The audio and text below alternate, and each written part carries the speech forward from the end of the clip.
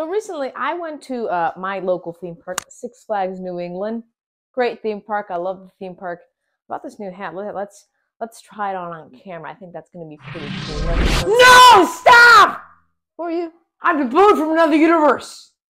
Okay, and uh, You cannot wear the hat. why? I want to. It looks good. Look at that. I want to wear it. I think it, it's pretty sunny outside. I want to wear it. It will have detrimental effects to the entire universe. Detrimental effects to the universe. Uh-huh. You cannot wear the hat. Got it? Sure. Okay. And so you're telling me I shouldn't really wear this hat? What about if I... Okay. Got it. Got it. Just. I won't touch it. Okay. Bye bye. Bye bye.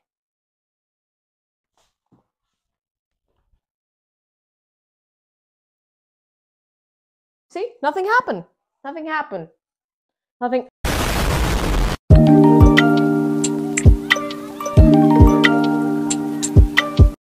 Welcome to Boo Plays. I'm Dabood, and this is my Spider-Man Across the Spider-Verse spoiler review. Uh, wow, this wow, whoa, whoa, whoa. Uh, this is a quite uh just a film for is a spectacular film that I I cannot wow I I cannot believe films could be this good. Uh, hope you enjoyed the little intro. I don't know. I spent some time on it. Um, I think I think they get better each time. It's either that or the movies just get better because this We movie is fine. just All right, whatever. unbelievably amazing. It might be one of my Whatever? favorites. So, are you like a time, cow yet, or a one of the best Dalmatian? I year. I've seen a wide range of movies this year, spanning from That's not horror funny. to comedy to animation. Hello, uh, but um, wow, this is quite the spectacular film. Like I can I cannot even describe. it. There's so much to talk about this film. Let me get let, let's get straight to the point. Make sure you subscribe, make the like button. I can never pronounce it. Anyways, this uh, this film um. Uh, after reuniting with uh, Gwen Stacy, Brooklyn's full-time friendly neighborhood Spider-Man, which is Miles Morales, is uh, uh, catapulted across the multiverse when he encounters a team of spider people, the Spider Society, better yet told, and uh, is charged uh, with protecting its very existence. However, when the heroes clash on how to handle a new threat, Miles finds himself pitted against other spiders. Yeah, that's not that's not good. Uh, uh, Miles finds uh, how to redefine what it means to be a hero, so he can save people he loves most. And wow, that that really helps me um, talk about the lesson of this film. And there there is a lot to talk about this film. And I will say right off the bat, you might be wondering if this is better than No Way Home. This is better than No Way Home. No, but not unden- undeniable. This is the best Spider-Man film. That's also undeniable.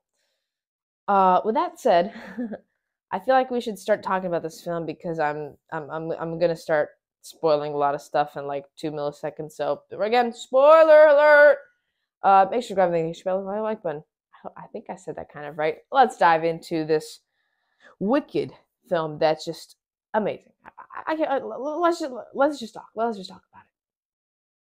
I will ahead of time. I apologize if I ramble too much because this video might be very long because I rambled too much about how amazing this film is. You should just go see it and then you just you'll you'll just know. You'll just know. But I'm just summing up for people in general. Let, let's talk about uh, something that I wanted to talk about right off the get go because it was mentioned in the little summary, and that is uh, lessons. And this film, usually I talk about plot first, but this film has a lot of lessons. Um, I will admit, unlike some films like uh, like Guardians of the Galaxy Volume Three was more emotional, more in depth, and this is a little bit more kids film, and it, it had less subject matter. It didn't have a lot of very heavy because I mean animal cruelty to finding yourself as a superhero two two different two different categories two different categories. Uh but they found some way in a PG rated film to captivate this very strong lesson of what it means to be a hero so that you could save everyone you love and like how you balance it how you find yourself how you save people you love how you, how you live through in the universe and there's just so much to decipher even it might be just little little things little, little lessons that kids don't re- like uh, families really don't matter but this is these this see my pronounce I can't even talk. I have so much to say. Lessons in this film, I always, always say this: just see the movie for yourself. You'll know what the lessons are. You you see the fa- balancing family, being a superhero, but at the same time, saving people you love, while the same like there's a lot of things stuff to think about.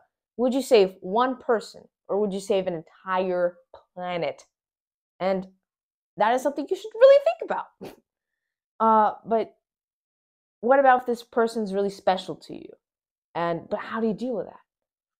There's just so much to think about this film, and I really love the lessons in this film, and I love how bold they are for a very uh, PG-rated film, intended for a much younger audience. Well, uh, and um, they really did something special with the lessons. I, I know it, if if it was like rated PG thirteen, it could have had a more in depth lesson. But the stuff they did with the PG film, wow, they they really really pushing the capabilities of what could be a rating. And um, man, oh wow. And the lessons they just put in here are are actually a lot for kids. And I, I will draw the comparison with Puss in Boots' Last Wish uh, like about death and anxiety and this and that one. I think this one also kind of deals with death and uh, like how do you balance life? How do you how do you really how do you uh, go on and how do you how do you save people? How do you love family while at the same time saving people and uh, what what is more important and how do you balance that and how there's just so many questions and so many lessons that are put into this film that are really emotional and really in depth. Uh, I think that's a really unique thing that they did, and and they didn't just make it like they live happily ever after. No, and I love how they didn't do that, and they made some more suspense in the film, and that brings me to suspense.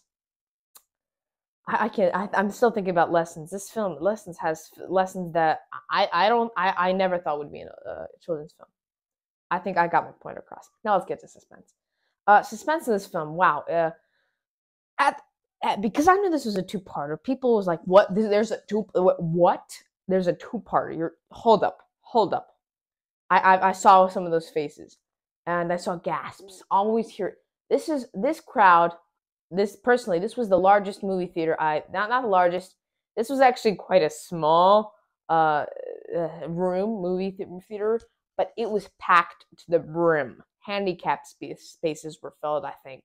There's like not even the front front row. That's the next zone. That's where you. That's where you're looking up all like this the whole time. I feel bad for those people. Uh, but those pe- those people back to the brim, like even the, in the corner of the room, they were like, st- st- there's the there's a lot of people watching this film, and they always have the same reaction, like what, wow, what, and usually I like to clap at the end of films, and then my friends are like, "Don't, don't do it." But this film, everybody started clapping, and I was like, "Oh yeah, I finally get to clap." And I never heard clapping in a movie theater before, except from me, of course. Uh, but this is the first time I saw other people clapping, and my friends were like, "Stop! Don't, don't be part of it. Don't be part of it." But they turned out to clap as well, kind of, because this was an amazing film, and the suspense of this film, well at one, at one hand, I was wondering what is going to happen with Miles. What is going to happen with Gwen? By the other hand, uh, by the other hand, I was wondering like, please don't end. Please, please, please don't let this movie end. Please just don't let this movie end. And I was like, wait, wait, wait, wait, wait, wait, wait, wait, wait, wait, wait, wait. We can we can talk. We don't have to end this really quickly. We have we can keep going. But it ended. And I'm like, no, no, no, no, no, no, no, no, no, no. But I was like, it's fine. We have another movie next year, uh, coming out on March 29th hopefully think I eh, next of next year. I'm fine with that if unless they don't delay until 2025. If they delay it, then there's going to be problems. There's going to be so much worry. I'm going to be so worried. I'm beyond the roof excited, uh, beyond uh, excited for the next film. So you have this. You have Miles going to the Spider Society, and man, he he really uh, uh really uh spider-man 2099 he really i'll talk about the characters in a moment and how they develop them. Uh but uh he really uh, irritates him and uh about like how we can save people but that is how well on one hand when we can save people that will destroy everything else and there will be consequences far greater than you could have imagined. And there'll be losses far greater than you could have imagined because you just saved one person and you messed with somebody's timeline. And um and uh just seeing seeing seeing that final battle, like the suspense, like is Miles gonna really get away? Is he is he gonna get is he gonna get by the Spider Society? Which whoa whoa whoa that that would have been actually pretty cool. Uh, but um, and then at the end when we had the twist of he was not in his universe. He didn't go back to his universe. He went to a different universe. I was like, whoa, whoa, whoa, whoa, hold up, whoa. And again, this was beyond just like I I could not imagine this. Like it was it was quite a su- surprise, and I'm like, wait, is is he gonna get out? And uh, at the same time, Gwen, I was like worried like about how how she revealed her identity at the beginning of the film, um, and how she really gonna deal with that. And uh, there's just so many questions and so many stuff I had to I was the focusing on and I I could just not stop thinking about this film. And um, oh, what else about suspense? I also have to say, suspense. Is anyone gonna perish? Is anyone gonna die? Are they gonna make any sacrifices? I'm like, no, please don't make sacrifices. That is the last thing I want. Sacrifices. Uh, we've gotten enough of them in Fast X. Sure, sacrifices in Fast X. Uh, but sorry, I need to pick something up. Um, stepped out of frame for a moment. Uh, and uh, well, this suspense, I I think is the best suspense I think I've uh, experienced. A little bit better than Guardians of the Galaxy Volume Three. That's what I can say for sure. And I'm really talking about a lot about characters in when I'm talking about suspense. And you know? Let's talk about the characters in this film because these characters are just amazing. They they there's so much about these characters that I love, and I love how they develop them even more. I will say the only thing that Guardians of the Galaxy Volume 3 did better, they were they were more relatable characters. But on one hand, this was a more personal story, I feel like. And um yeah. Let's first talk about my let's first talk about the characters. Um uh like Miles and Gwen, they really developed a lot in this film, and uh, I think that was a good benefit of them. Their performances are beyond the roof. You can see like those. This was a star-studded cast: uh, Jason Schwartzman, uh, uh, uh Brian Tyree uh, Henry, D- Daniel Kaluuya. There's there's so many so many people. Oscar Isaac as when Spider-Man 2099. And you feel their performances. They are not voice acting performances. Usually in films, you have a voice acting performance but this film felt like it was an actual performance. They put their all into this performance, and that usually doesn't happen. There's really like like like uh, people underestimate voice actors sometimes. Like they're they're just standing in a booth and just yelling at a microphone for a couple of hours. But these but this really they, these uh performances really shined and they really act. You could feel their passion towards the project, even if they didn't get enough screen time. Like Scarlet Spider, I think Scarlet Spider, yeah, and uh, um, kind of Peter Peter B. Sparker, uh, uh, Sparker Parker. Um, uh, he got enough. Uh, I feel like enough screen time, but it could have could have been more. Uh, um, and uh, I feel like they really balanced the, the characters in this film, and they let exact number of characters grow. And introduce introduction of these new different characters, new Spider-Man characters, I think really elevated uh, a story with uh, Spider Woman uh, that was I think that was a good addition. Uh, so 2099 Spider. I mean, I think he need we need more of him. We need more of him. Scarlet Spider, which is his journey has barely begun. Um, but uh, they really advanced, and I think that was the best part of the plot. And they really let, even though the first half of the film was a lot of talking and talking and talking, I was invested the whole time. And plus, they made the animation look amazing, which we have to get to in a moment which I, I cannot stop. I cannot stop. Um, I cannot stop talking about other th- stuff in the film. Um, the plot. So, uh, very, very, very simple kind of plot. Uh, you have somebody from the past. You meet him again, and uh, I'll say Jason Jason Schwartzman performance. Wow, wow. I, I I I didn't know he was in this film, and I was like, whoa, that was, that was a good performance. It was very, very clever performance. I think and he i am really terrified of the spot now in this universe. And like what is he going to do? What? Um so uh the plot that uh, him just ca- conquering multiversal universes and miles trying to s- save somebody he loves and uh him trying to there's even though i, I love this is two part lets it lets us grow and uh focus on other aspects of the story that in a in the in the two if it was the same amount two hours and 16 minutes and they had to fit in both films man this film would be like like that each scene but I love how they did it two parts so they can expand on each story. So they can expand on family. And then now that we know that now that they even set up this uh, kind of family aspect that like we they might we might see characters die in the next film. That really raised the stakes for the end of the end of this film and for the next film. And uh talking going back to suspense, like I did not know how they're going to end like the Prowler in Planet uh, on uh, Universe Planet 42 was Miles Morales.